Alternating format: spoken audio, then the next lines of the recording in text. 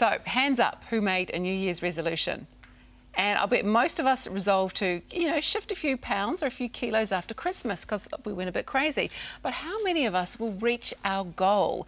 So back to help us, we have researcher and health expert Dr. Frances Pitsilis in the Harvey Norman Lounge to bust some of those weight loss myths. Morning, Frances. Morning, Mel. So let's talk a little bit about that. What are some common mistakes that we, when we make, that we, when we're trying to lose weight?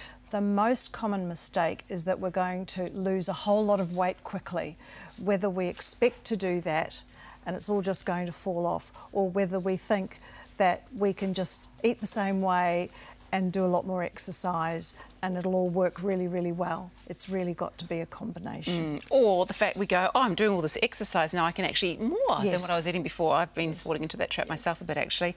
Uh, let's go through the top three myths then, sort of around weight loss. First up, never skip breakfast if you're trying to lose weight. Mm. Really? This is a myth? Well, I've seen two studies that say it doesn't matter. And I think everybody's different. A lot of people do better if they do eat something in the morning. It, it brings their metabolism up and it helps them get through the day and, and burn a few more calories. But everyone's different, at least if they can eat something at morning tea if they don't feel they can eat at breakfast. That's fascinating because I always thought that breakfast was meant to be the most important meal of the day. Well, they used to say eat breakfast like a king, you know, mm. and, uh, you know, dinner like a pauper. I think it is a good idea not to eats a heavy meal at night, especially late at night, because those calories are going to go on to you. And of course, there's been a lot of research about sort of semi fasting, having long periods of not eating is actually uh, good for your health and can extend your life. Mm. Um, long periods of not eating actually increases growth hormone, and that's how some people lose weight. But everybody's different. Everybody's metabolism's different. Exactly. So lots of different research mm. there. Okay, let's talk about the next myth then. Mm. Small changes to food intake and exercise is going to result in large, long-term weight loss. Well, you're getting lighter as you lose weight, so unless you know, it, you know, it's going to become slower as you, as you go along. So does that mean you have to beef up your exercise from when you start? So if you start and you're quite overweight, mm. you're going to lose weight easier by doing less exercise? Do you have to sort of beef the exercise up as you start losing? Maybe. Everybody's different, but generally speaking, the weight loss will be bigger at the beginning and it will tail off as you carry on because I think it's impossible for people to sustain huge amounts of exercise. They've got to work, they've got to look after their families, and people have difficulty fitting everything in.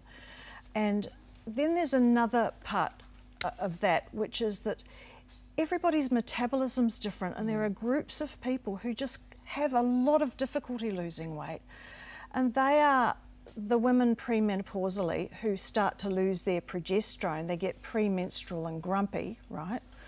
And progesterone reduces fluid retention and increases your metabolism. Mm. So if you're in that group, you can talk to your doctor about that. What about the diabetics who often have slow thyroids and often a few mineral deficiencies?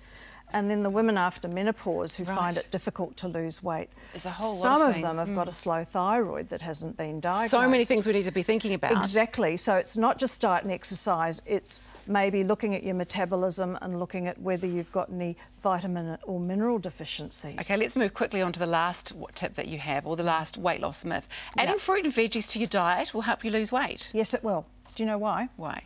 Because if you fill up on this good stuff that's going to give you energy and make you feel really good, especially those B vitamins and those green veggies, then there's less room for sugar and starch in those sticky buns. OK, so that one's a fact. That one will help you lose weight. Absolutely. Excellent. So we need to get stuck into the good stuff, the veggies and the fruit and the whole foods.